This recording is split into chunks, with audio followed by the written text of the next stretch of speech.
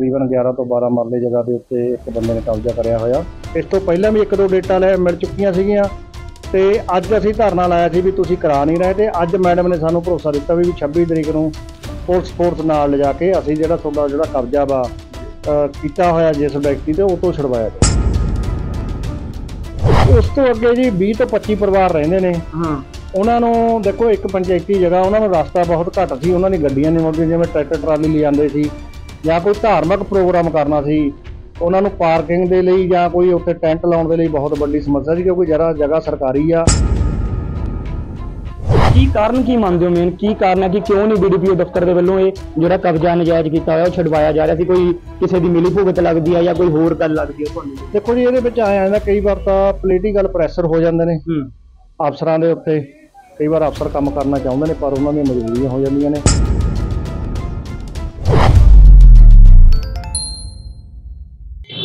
ਸਤਿ ਸ਼੍ਰੀ ਅਕਾਲ D5 channel Punjabi ਦੇਖ ਰਹੇ ਸਾਰੇ ਦਰਸ਼ਕਾਂ ਦਾ, ਮੈਂ ਦੀਪਕ ਚਾਨਾ ਸਵਾਗਤ ਕਰਦਾ ਮੱਛੀਵਾੜਾ ਸਾਹਿਬ ਦੇ ਵਿੱਚ ਮੌਜੂਦ ਆ, ਖੰਨਾ ਨਵਾਂ ਸ਼ਹਿਰ ਨੈਸ਼ਨਲ ਹਾਈਵੇ ਤੇ ਮੌਜੂਦ ਆ, ਜਿੱਥੇ ਭਾਰਤੀ ਕਿਸਾਨ ਯੂਨੀਅਨ ਕਾਦੀਆਂ ਦੇ ਵੱਲੋਂ ਆਪਣੀਆਂ ਕੁਝ ਬੰਗਾਂ ਨੂੰ ਲੈ ਕੇ ਸਹਿਜੋ ਮਾਜਰੇ ਪਿੰਡ ਦੇ ਵਿੱਚ ਨਜਾਇਜ਼ ਕਬਜ਼ਾ ਹੋਇਆ ਹੋਇਆ, ਜਿਸ ਨੂੰ ਲੈ ਕੇ ਲਗਾਤਾਰ ਕਾਫੀ ਲੰਬੇ ਸਮੇਂ ਤੋਂ ਸੰਘਰਸ਼ ਕੀਤਾ ਜਾ ਰਿਹਾ ਹੈ।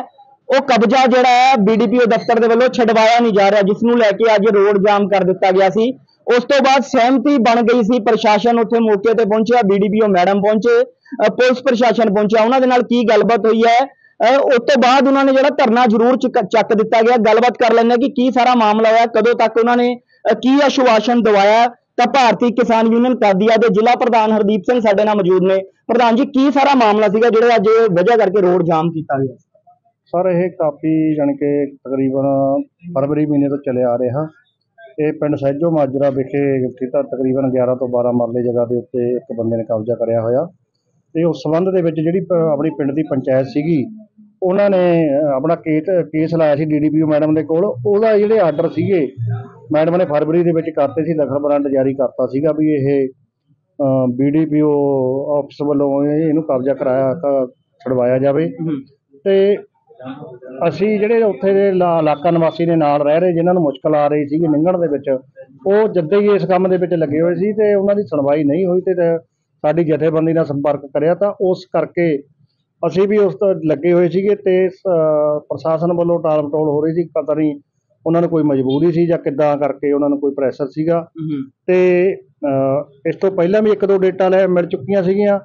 ਤੇ ਅੱਜ ਅਸੀਂ ਧਰਨਾ ਲਾਇਆ ਸੀ ਵੀ ਤੁਸੀਂ ਕਰਾ ਨਹੀਂ ਰਹੇ ਤੇ ਅੱਜ ਮੈਡਮ ਨੇ ਸਾਨੂੰ ਭਰੋਸਾ ਦਿੱਤਾ ਵੀ 26 ਤਰੀਕ ਨੂੰ ਪੁਲਿਸ ਫੋਰਸ ਨਾਲ ਲਿਜਾ ਕੇ ਅਸੀਂ ਜਿਹੜਾ ਤੁਹਾਡਾ ਜਿਹੜਾ ਕਬਜ਼ਾ ਵਾ ਕੀਤਾ ਹੋਇਆ ਜਿਸ ਵਿਅਕਤੀ ਤੇ ਉਹ ਤੋਂ ਛੁਡਵਾਇਆ ਜਾਊ। ਤਾਂ ਕਿੰਨੀਆਂ ਕੁ ਮੁਸ਼ਕਲਾਂ ਕਿੰਨੀਆਂ ਕੁ ਆਉਂਦੀਆਂ ਸੀ ਉਸ ਰਸਤੇ ਨੂੰ ਲੈ ਕੇ? ਉਹ ਰਸਤਾ ਜਿਹੜਾ ਪੈਂਦਾ ਸੀ ਜਿੱਥੇ ਕਬਜ਼ਾ ਕੀਤਾ ਹੋਇਆ। ਦੇਖੋ ਉਸ ਤੋਂ ਅੱਗੇ ਜੀ 20 ਤੋਂ 25 ਪਰਿਵਾਰ ਰਹਿੰਦੇ ਨੇ। ਹਾਂ। ਉਹਨਾਂ ਨੂੰ ਦੇਖੋ ਇੱਕ ਪੰਚਾਇਤੀ ਜਗ੍ਹਾ ਉਹਨਾਂ ਨੂੰ ਰਸਤਾ ਬਹੁਤ ਘੱਟ ਸੀ। ਉਹਨਾਂ ਦੀ ਗੱਡੀਆਂ ਨਹੀਂ ਮੁੜਦੀਆਂ ਜਿਵੇਂ ਟਰੈਕਟਰ ਟਰਾਲੀ ਲੈ ਜਾਂਦੇ ਸੀ ਜਾਂ ਕੋਈ ਧਾਰਮਿਕ ਪ੍ਰੋਗਰਾਮ ਕਰਨਾ ਸੀ। ਉਹਨਾਂ ਨੂੰ ਪਾਰਕਿੰਗ ਦੇ ਲਈ ਜਾਂ ਕੋਈ ਉੱਥੇ ਟੈਂਟ ਲਾਉਣ ਦੇ ਲਈ ਬਹੁਤ ਵੱਡੀ ਸਮੱਸਿਆ ਸੀ ਕਿਉਂਕਿ ਜਰਾ ਜਗ੍ਹਾ ਸਰਕਾਰੀ ਆ। ਕਿਉਂਕਿ ਲੋਕਾਂ ਦੇ ਵਰਤਣ ਲਈ ਉਹ ਇਹ ਪੰਚਾਇਤ ਦੀ ਛੱਡੀ ਹੋਈ ਸੀ। ਇਸ ਕਰਕੇ ਲੋਕਾਂ ਨੂੰ ਬਹੁਤ ਵੱਡੀ ਮੁਸ਼ਕਲ ਆ ਰਹੀ ਸੀ। ਤੇ ਅਸੀਂ ਤਾਂ ਕਰਕੇ ਆਪਣੀ ਜਥੇਬੰਦੀ ਵੱਲੋਂ ਉਪਰਾਲਾ ਕਰਕੇ ਵੀ ਇਹਨੂੰ ਛੁਡਵਾਇਆ ਜਾਵੇ ਹੁਣ ਕੀ ਕਿਹਾ ਤੁਹਾਨੂੰ ਅੱਜ ਜਦੋਂ ਬੀਡੀਪੀਓ ਮੈਡਮ ਦੇ ਨਾਲ ਤੁਹਾਡੀ ਮੁਲਾਕਾਤ ਹੋਈ ਹੈ ਗੱਲਬਾਤ ਹੋਈ ਹੈ ਜਦੋਂ ਤੁਹਾਡਾ ਧਰਨਾ ਉਹਨਾਂ ਨੇ ਚੁਕਵਾਇਆ ਰੋਡ ਜਿਹੜਾ ਜਾਮ ਮੈਡਮ ਕਹਿੰਦੇ ਵੀ ਇੱਕ ਮੌਕਾ ਸਾਨੂੰ ਹੋਰ ਦਿੱਤਾ ਜਾਵੇ ਅਸੀਂ 26 ਤਰੀਕ ਨੂੰ ਪੁਲਿਸ ਫੋਰਸ ਲਿਜਾ ਕੇ। ਉਹਨਾਂ ਨੇ ਸਾਨੂੰ ਲੈਟਰ ਦਿਖਾਤਾ ਪੁਲਿਸ ਫੋਰਸ ਨੂੰ ਵੀ ਲਿਖਤਾ ਤੇ ਵੀ 26 ਤਰੀਕ ਨੂੰ ਅਸੀਂ ਮੈਂ ਖੁਦ ਲਿਜਾ ਕੇ ਜਿਹੜਾ ਕਬਜ਼ਾ ਵਾ ਕਲੀਅਰ ਕਰਾ ਦਿੱਤਾ। ਐਸਡੀਐਮ ਸਾਹਿਬ ਨਾਲ ਵੀ ਕੋਈ ਗੱਲਬਾਤ ਹੋਈ ਹੈ ਇਸ ਮਾਮਲੇ ਨੂੰ ਲੈ ਕੇ? ਆਈਡੀਆ ਸਰ ਨੇ ਵੀ ਮੈਨੂੰ ਫੋਨ ਤੇ ਉਹਨਾਂ ਨਾਲ ਮੈਨੂੰ ਭਰੋਸਾ ਦਿਵਾਇਆ ਕਹਿੰਦੇ ਵੀ ਜੇ ਹੋਰ ਵੀ ਕੋਈ ਇਲਾਕੇ ਦਾ ਆਪਣਾ ਹੈਗਾ ਇਹੋ ਜਿਹਾ ਕੋਈ ਨਜਾਇਜ਼ ਕਬਜ਼ਾ ਜੋ ਸਾਡੇ ਹੋਰ ਵੀ ਕਈ ਮਸਲੇ ਨੇ ਉਹਨਾਂ ਦੇ ਵੀ ਉਹਨਾਂ ਨੇ ਭਰੋਸਾ ਜਤਾਇਆ। ਬਈ ਤੁਸੀਂ ਸਾਡੇ ਨਾਲ ਸੰਪਰਕ ਕਰਕੇ ਮੈਂ ਤੁਹਾਡੇ ਨਾਲ ਜਿਹੜੇ ਮਸਲੇ ਹੱਲ ਕਰਾਂਗਾ। ਕੀ ਕਾਰਨ ਕੀ ਮੰਨਦੇ ਹੋ ਮੇਨ ਕੀ ਕਾਰਨ ਹੈ ਕਿ ਕਿਉਂ ਨਹੀਂ ਬੀਡੀਪੀਓ ਦਫ਼ਤਰ ਦੇ ਵੱਲੋਂ ਇਹ ਜਿਹੜਾ ਕਬਜ਼ਾ ਨਜਾਇਜ਼ ਕੀਤਾ ਹੋਇਆ ਉਹ ਛਡਵਾਇਆ ਜਾ ਰਿਹਾ ਸੀ? ਕੋਈ ਕਿਸੇ ਦੀ ਮਿਲੀ ਭੁਗਤ ਲੱਗਦੀ ਹੈ ਜਾਂ ਕੋਈ ਹੋਰ ਗੱਲ ਲੱਗਦੀ ਹੈ ਤੁਹਾਨੂੰ ਦੇਖੋ ਜੀ ਇਹਦੇ ਵਿੱਚ ਆਇਆ ਜਾਂਦਾ ਕਈ ਵਾਰ ਤਾਂ ਪੋਲੀਟੀਕਲ ਪ੍ਰੈਸ਼ਰ ਹੋ ਜਾਂਦੇ ਨੇ। ਹੂੰ। ਅਫਸਰਾਂ ਦੇ ਉੱਤੇ ਕਈ ਵਾਰ ਅਫਸਰ ਕੰਮ ਕਰਨਾ ਚਾਹੁੰਦੇ ਨੇ ਪਰ ਉਹਨਾਂ ਦੀਆਂ ਮਜਬੂਰੀਆਂ ਹੋ ਜਾਂਦੀਆਂ ਨੇ। ਇੱਕ ਹੋਰ ਆ ਵੀ ਜਿਹੜੇ ਆਪਣੇ ਪੂਰੇ ਪੰਜਾਬ ਦੇ ਵਿੱਚ ਜਿੰਨੇ ਵੀ ਦਫ਼ਤਰ ਨੇ ਉਹਨਾਂ ਦੇ ਵਿੱਚ ਵਾਧੂ ਚਾਰਜ ਬਹੁਤ ਦਿੱਤੇ ਹੋਏ ਨੇ। ਜਿਵੇਂ ਇਹ ਮੈਡਮ ਨੇ ਹੁਣ ਇਹਨਾਂ ਨੂੰ ਇੱਕ ਸਮਰਾਲੇ ਦਾ ਵਾਧੂ ਚਾਰਜ ਦਿੱਤਾ ਮਚੋੜੇ ਦੇ ਤਾਂ ਇਹ ਹੈਗੇ ਹੀ ਨੇ। ਇਦਾਂ ਹੀ ਤਹਿਸੀਲਦਾਰਾਂ ਦਾ ਲਾ ਲਓ ਦੋ ਦੋ ਜਗ੍ਹਾ ਵਾਧੂ ਚਾਰਜ ਨੇ। ਬਿਜਲੀ ਦਫ਼ਤਰਾਂ ਦੇ ਵਿੱਚ ਲਾ ਲਓ ਮੁਲਾਜ਼ਮ ਹੈ ਨਹੀਂ। ਕਿਉਂਕਿ ਮੁਲਾਜ਼ਮਾਂ ਦੀ ਬਹੁਤ ਵੱਡੀ ਕਮੀ ਪਾ ਜਾ ਪਾਈ ਜਾ ਰਹੀ ਆ ਪੁਲਿਸ ਫੋਰਸ ਦੇ ਵਿੱਚ ਵੀ ਹਰ ਕਿਤੇ। ਇਹਦੇ ਨਾਲ ਜਿਹੜੀ ਜਿਹੜੀ ਆਮ ਜਨਤਾ ਉਹ ਪਰੇਸ਼ਾਨ ਹੋ ਰਹੀ। ਯਾਨੀ ਕਿ ਸਰਕਾਰ ਨੂੰ ਚਾਹੀਦਾ ਵੀ ਜਿੰਨੀਆਂ ਵੀ ਆਪਣੇ ਆਪ ਪੋਸਟਾਂ ਖਾਲੀ ਪਈਆਂ ਨੇ ਕਿਸੇ ਵੀ ਵਿਭਾਗ 'ਚ ਨੇ ਕਿਉਂਕਿ ਨੌਜਵਾਨ ਬਹੁਤ ਸਾਡੇ ਪੜ੍ਹੇ ਲਿਖੇ ਨੇ ਉਹਨਾਂ ਨੂੰ ਪੂਰਾ ਕੀਤਾ ਜਾ ਜਿਹੜੇ ਲੋਕ ਜਿਹੜੇ ਸਾਡੇ ਲੋਕਾਂ ਦੀ ਖੱਜਲ ਖਵਾਰੀ ਨਾ ਹੋ ਅ, ਜੇ ਨਹੀਂ 26 ਤਰੀਕ ਨੂੰ ਵੀ ਕਬਜ਼ਾ ਜਿਹੜਾ ਛਡਵਾਇਆ ਜਾਂਦਾ ਤਾਂ ਉਸ ਤੋਂ ਅਗਲੀ ਕਾਰਵਾਈ ਜਿਹੜੀ ਹੈ ਤੁਹਾਡੀ ਉਹ ਕੀ ਹੋ ਦੇਖੋ ਜੀ ਅਸੀਂ 26 ਤਰੀਕ ਦੀ ਵੇਟ ਕਰਾਂਗੇ ਪ੍ਰਸ਼ਾਸਨ ਦੀ ਜੇ ਨਹੀਂ ਕਰਨਗੇ ਤਾਂ ਅਸੀਂ ਸਾਨੂੰ ਦੁਬਾਰਾ ਮਜਬੂਰੀ ਵਾਰ ਧਰਨਾ ਲਾਉਣਾ ਪਊ। ਰੋਡ ਦੁਬਾਰਾ ਤੋਂ ਜਾਮ ਕੀਤਾ ਜਾਊਗਾ ਹਾਂਜੀ ਕਰਨਾ ਪੈਣਾ ਜੀ ਕਿਉਂਕਿ ਸਾਡੀ ਮਜਬੂਰੀ ਹੋ ਜਾਂਦੀ ਪ੍ਰਧਾਨ ਜੀ ਕਿਵੇਂ ਦੇਖਦੇ ਹੋ ਅੱਜ ਜਿਹੜਾ ਰੋਡ ਜਾਮ ਕੀਤਾ ਸੀਗਾ? ਤੁਸੀਂ ਉਸ ਤੋਂ ਬਾਅਦ ਪ੍ਰਸ਼ਾਸਨ ਉੱਥੇ ਤੁਹਾਡੇ ਕੋਲ ਮੌਕੇ ਤੇ ਪਹੁੰਚਿਆ ਸਹਿਮਤੀ ਬਣ ਗਈ? ਹਾਂਜੀ ਇਹਦੇ ਵਿੱਚ ਦੇਖੋ ਜੀ ਪਹਿਲੇ ਗੱਲ ਇਹ ਨੇ ਪਹਿਲਾਂ ਮੈਡਮ ਨੇ ਜਦੋਂ ਸਾਨੂੰ ਮੁਸ਼ਕਾਬਾਦ ਦਿੱਤੀ ਸੀਗੀ 30 ਤਰੀਕ ਤੇ ਸੱਜਾ ਦਿੱਤੀ ਸੀਗੀ 4 ਤਰੀਕ। ਮੈਡਮ ਆਪਣੀ 31 ਤਰੀਕ ਨੂੰ ਬਦਲੀ ਕਰਾ ਕੇ ਉਹ ਚਲੇ ਗਏ। ਜਦ ਸਾਨੂੰ ਉਹਨਾਂ ਨੇ ਮੂਰਖੇ ਬਣਾਇਆ ਸਾਨੂੰ ਸੱਚੀ ਗੱਲ ਨਹੀਂ ਦੱਸੀ ਵੀ ਮੇਰੀ ਬਦਲੀ ਆ ਉਹਦੇ ਬਾਅਦ ਨਵੇਂ ਆਉਣਗੇ ਉਹ ਕਰਨਗੇ। ਫਿਰ ਉਹਦੇ ਬਾਅਦ ਨਵੇਂ ਮੈਡਮ ਆਈ ਉਹ ਵੀ ਬਦਲੀ ਹੋ ਕੇ ਚਲੇ ਗਏ ਫਿਰ ਇਹ ਆ ਗਏ। ਉਹਨਾਂ ਦੇ ਧਿਆਨ ਦੇ ਵਿੱਚ ਸੀਗਾ ਜੀ ਇਹ ਮਸਲਾ। ਤੇ ਮਸਲੇ ਦੇ ਸੰਬੰਧ ਕਰਕੇ ਇਹਨਾਂ ਨੂੰ ਮਿਲੇ ਸੀ ਜਦੋਂ ਆਏ ਨੇ ਬੱਸ ਦੇ ਪਰ ਇਹਨਾਂ ਸਾਨੂੰ ਕੋਈ ਮੰਨ ਲਓ ਚੰਗੀ ਤਰ੍ਹਾਂ ਗੱਲ ਨਹੀਂ ਕੀਤੀ ਵੀ ਸਾਨੂੰ ਕਿਹਾ ਹੀ ਨਹੀਂ ਵੀ ਅਸੀਂ ਕਬਜ਼ਾ ਚਲਾਵਾਂਗੇ। ਤਾਂ ਕਰਕੇ ਸਾਨੂੰ ਅੱਜ ਧਰਨਾ ਲਾਉਣਾ ਪਿਆ ਜੀ। ਕਿੰਨੀ ਕੁ ਵਾਰ ਪਹਿਲਾਂ ਮੀਟਿੰਗ ਜਿਹੜੀ ਹੈ ਬੀਡੀਪੀਓ ਮੈਡਮ ਦੇ ਨਾਲ ਤੁਹਾਡੀ ਹੋ ਚੁੱਕੀ ਹੈ? ਚਾਹੇ ਇਹ ਮੈਡਮ ਹੋਣ ਚਾਹੇ ਪਹਿਲਾਂ ਜਿਹੜੇ ਸੀਗੇ ਇੱਥੇ ਅਫਸਰ ਉਹਨਾਂ ਦੇ ਨਾਲ। ਨਹੀਂ ਇਹ ਮੈਡਮ ਨੇ ਰਹੇ ਨੇ ਜਿੱਦੇ ਤੇ ਪਹਿਲਾਂ ਮੈਡਮ ਰਾਜਦੀਪ ਹੁੰਦੀ ਸੀ ਉਹਨਾਂ ਦੇ ਅੰਦਰ ਰਹੇ ਆ ਤੇ ਮੈਡਮ ਨੂੰ ਅਸੀਂ ਤਿੰਨ ਵਾਰ ਦੇ ਚੁੱਕੇ ਆ ਜੀ। ਪਰ ਤਿੰਨਾਂ ਵਾਰ ਕੋਈ ਕਾਰਵਾਈ ਨਹੀਂ ਹੋ ਪਾਈ? ਨਹੀਂ ਹੋਈ ਆ ਜੀ। ਹਾਂ। ਇੱਕ ਵਾਰ ਮੈਡਮ ਮੌਕਾ ਦੇਖਣ ਗਏ ਨੇ। ਉਹ ਧਰਤੀ ਜਿਹਨੇ ਸੁਣ ਕੇ ਆਪਣੀ ਵਾਪਸ ਮੁੜਿਆ ਹੈ। ਕੋਈ ਇਹਨਾਂ ਨੇ ਕਬਜ਼ਾ ਛੜਾਇਆ ਨਹੀਂ ਹੈਗਾ। ਅ, ਜਿਵੇਂ ਹੁਣ ਅੱਜ ਤੁਹਾਨੂੰ ਵਿਸ਼ਵਾਸਨ ਦਵਾਇਆ ਕਿ 26 ਤਰੀਕ ਨੂੰ ਜਿਹੜਾ ਪ੍ਰਸ਼ਾਸਨ ਨੂੰ ਨਾਲ ਲਿਜਾ ਕੇ ਉਹ ਖਾਲੀ ਕਰਵਾ ਲਿੱਤਾ ਜਾਊਗਾ। ਲੱਗਦਾ ਹੈ ਕਿ 26 ਤਰੀਕ ਨੂੰ ਜ਼ਰੂਰ ਇਹ ਕੰਮ ਹੋਊਗਾ? ਨਹੀਂ ਕਰਾਉਣਗੇ ਜੀ। ਹਾਂ। ਅੱਜ ਆਏ ਨੇ ਮੈਡਮ ਆਪ। ਅੱਗੇ ਸਾਡੇ ਨਾਲ ਕਦੇ ਇੱਕ ਨਾਲ ਗੱਲ ਨਹੀਂ ਕਰੀ ਇਹਨਾਂ ਨੇ ਆ ਕੇ। ਅੱਜ ਦੇ ਟਾਈਮ ਤੇ 26 ਤਰੀਕ ਦਾ ਸਾਨੂੰ ਸੱਜੋ ਮਾਜਰੇ ਦਾ। ਵੀ ਜੇ ਨਹੀਂ ਛਡਾਉਣਗੇ ਫਿਰ ਅਸੀਂ ਅਨਮਤ ਲਈ ਰੋਡ ਜਾਮ ਕਰਾਂਗੇ। ਤੇ ਜਿਵੇਂ ਅੱਜ ਰੋਡ ਜਾਮ ਕੀਤਾ ਸੀ ਦੁਬਾਰਾ ਤੋਂ ਕਰ ਦਿੱਤਾ ਜਾਊਗਾ 26 ਤੋਂ ਬਾਅਦ ਹਾਂਜੀ ਬਿਲਕੁਲ ਕਰਾਂਗੇ। ਮੈਮ ਕੀ ਮਾਮਲਾ ਸੀਗਾ ਜਿਹੜਾ ਅੱਜ ਰੋਡ ਜਾਮ ਕੀਤਾ ਗਿਆ ਸੀ? ਭਾਰਤੀ ਕਿਸਾਨ ਯੂਨੀਅਨ ਪਾਰਟੀ ਵੱਲੋਂ ਉਹ ਸਾਜੋ ਮਾਜਰੇ ਨਜਾਇਜ਼ ਕਬਜ਼ਾ ਹੈ ਜੀ, ਉਹ ਹਟਾਉਣ ਵਾਸਤੇ ਉਹਨਾਂ ਨੇ ਧਰਨਾ ਲਾਇਆ ਸੀ। ਕੀ ਉਹਨਾਂ ਦੇ ਨਾਲ ਹੁਣ ਪ੍ਰਸ਼ਾਸਨ ਦੀ ਤੁਹਾਡੀ ਕੀ ਸਹਿਮਤੀ ਬਣੀ ਹੈ ਕੋਈ ਜਾਂ ਹਾਂਜੀ ਨੂੰ- ਸਹਿਮਤੀ ਬਣ ਗਈ ਜੀ ਉਹਨਾਂ ਨੂੰ 26 ਤਰੀਕ ਦਿੱਤੀ ਹੋਈ ਹੈ ਕਿੰਨੀ ਕੁ ਜਗ੍ਹਾ ਮੈਮ ਉਹ ਕਬਜ਼ਾ ਹੋਏਗਾ ਸ਼ੇਖ ਜਗ੍ਹਾ ਤਾਂ ਮੈਨੂੰ ਕਨਫਰਮ ਨਹੀਂ ਪਰ ਉਹਨਾਂ ਨੇ ਮਤਲਬ ਕੰਧ ਕੱਢੀ ਹੋਈ ਹੈ ਜੋ ਕੰਧ ਹੀ ਢਾਉਣੀ ਆ ਉਹ ਕਹਿ ਰਹੇ ਨੇ ਕਿ ਕਾਫੀ ਟਾਈਮ ਤੋਂ ਜਿਹੜਾ ਫਰਵਰੀ ਹਾਂਜੀ ਕਾਫੀ ਕਾਫੀ ਡਿਲੇ ਹੋ ਗਈ। ਕਾਰਨ ਕੀ ਸੀ ਉਹਦਾ ਡਿਲੇ ਹੋਣ ਦਾ ਜੀ?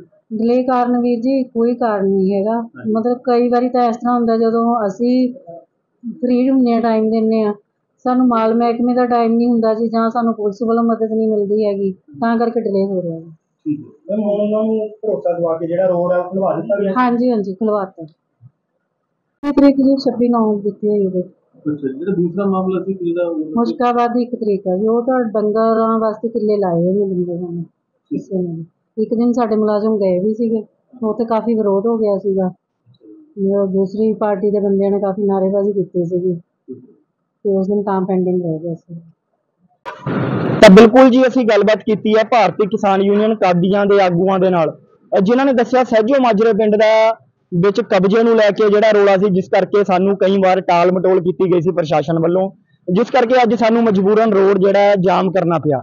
ਪਰ ਉਸ ਤੋਂ ਬਾਅਦ ਉੱਥੇ ਬੀਡੀਪੀਓ ਮੈਡਮ ਪਹੁੰਚ ਜਾਂਦੇ ਨੇ, ਜਿਨ੍ਹਾਂ ਨੇ ਅਹ 26 ਤਰੀਕ ਦਾ ਸਾਨੂੰ ਭਰੋਸਾ ਦਿਵਾਇਆ ਕਿ 26 ਤਰੀਕ ਨੂੰ ਜਿਹੜਾ ਕਬਜ਼ਾ ਹੈ ਉਹ ਹਟਾ ਦਿੱਤਾ ਜਾਏਗਾ। ਅਸੀਂ ਪ੍ਰਸ਼ਾਸਨ ਨੂੰ ਨਾਲ ਲੈ ਕੇ ਉੱਥੇ ਜਾਵਾਂਗੇ। ਤਾਂ ਅਸੀਂ ਇਸ ਮਾਮਲੇ ਦੇ ਉੱਤੇ ਬੀਡੀਪੀਓ ਮੈਡਮ ਦਾ ਪੱਖ ਵੀ ਜਾਣਿਆ। ਉਹਨਾਂ ਨੇ ਵੀ ਦੱਸਿਆ ਕਿ ਅਸੀਂ ਅਹ ਇਸ ਟਾਈਮ ਉਹਨਾਂ ਦੇ ਨਾਲ ਸਹਿਮਤੀ ਸਾਡੀ ਬਣ ਗਈ ਹੈ, ਗੱਲਬਾਤ ਹੋ ਗਈ ਹੈ, ਉਹਨਾਂ ਨੂੰ ਆਸ਼ਵਾਸਨ ਦਿਵਾਇਆ ਕਿ 26 ਸਤੰਬਰ ਨੂੰ 26 ਤਰੀਕ ਨੂੰ ਅਸੀਂ ਜਾ ਕੇ ਉਹ ਕਬਜ਼ਾ ਜਿਹੜਾ ਛਡਵਾ ਦਾਂਗੇ ਜਿਸ ਤੋਂ ਬਾਅਦ ਇਹ ਕਿਸੇ ਵੀ ਤਰ੍ਹਾਂ ਦੀ ਜਿਹੜੀ ਦਿੱਕਤ ਹੈ ਤੁਹਾਨੂੰ ਨਹੀਂ ਆਣ ਦਿੱਤੀ ਜਾਵੇਗੀ, ਤਾਂ ਹੁਣ, ਅਹ ਕਿਸਾਨ ਯੂਨੀਅਨ ਜਿਹੜਾ ਧਰਨਾ ਆਪਣਾ ਰੋਡ ਜਾਮ ਕੀਤਾ ਸੀ, ਉਹ ਚੱਕ ਲਿੱਤਾ ਗਿਆ ਰੋਡ ਜਿਹੜਾ ਚੱਲਦਾ ਹੋ ਗਿਆ ਹੋਇਆ। ਤਾਂ ਹੁਣ ਦੇਖਣਾ ਇਹ ਹੋਵੇਗਾ ਕਿ 26 ਤਰੀਕ ਨੂੰ ਜਿਹੜਾ ਕਬਜ਼ਾ ਕੀਤਾ ਹੋਇਆ, ਨਜਾਇਜ਼ ਕਬਜ਼ਾ, ਉਹ ਛਡਵਾਇਆ ਜਾਂਦਾ ਹੈ ਜਾਂ ਨਹੀਂ ਛਡਵਾਇਆ ਜਾਂਦਾ। ਤਾਂ ਅਗਰ ਨਹੀਂ ਛਡਵਾਇਆ ਜਾਂਦਾ ਤਾਂ ਕਿਸਾਨ ਯੂਨੀਅਨਾਂ ਦਾ ਇਹ ਕਹਿਣਾ ਹੈ ਕਿ ਅਸੀਂ ਫਿਰ ਤੋਂ ਦੁਬਾਰਾ ਅਣਮਿੱਥੇ ਸਮੇਂ ਲਈ ਰੋਡ ਹੈ ਜਿਹੜਾ ਉਹ ਜਾਮ ਕਰ ਦਾਂਗੇ। ਤਾਂ ਵਧੇਰੇ ਅਪਡੇਟਸ ਦੇ ਲਈ ਦੇਖਦੇ ਰਹੋ D5 ਚੈਨਲ ਪੰਜਾਬੀ। ਨਿਡਰ ਹਾਂ ਨਿਰਪੱਖ ਰਹਾਂਗੇ। ਆਜ਼ਾਦ ਹਾਂ ਸੱਚ ਕਹਾਂਗੇ। ਗੱਲ ਕਰਾਂਗੇ ਸਿਆਸੀ ਹਵਾ ਦੀ। ਹੁਕਮਰਾਨਾਂ ਨੂੰ ਹੋਣਗੇ ਸਿੱਧੇ ਸਵਾਲ। ਸਭ ਤੋਂ ਪਹਿਲਾਂ ਪਹੁੰਚਾਵਾਂਗੇ ਤੁਹਾਡੇ ਤੱਕ ਸਿਰਫ ਸੱਚੀ ਖਬਰ। ਹਰ ਮਸਲੇ ਤੇ ਰਹੇਗੀ ਤਿੱਖੀ ਨਜ਼ਰ। ਦੱਸਾਂਗੇ ਕੌਣ ਕਰ ਰਿਹਾ ਹੈ। ਕਿਹਦੇ ਤੇ ਜ਼ਬਰ?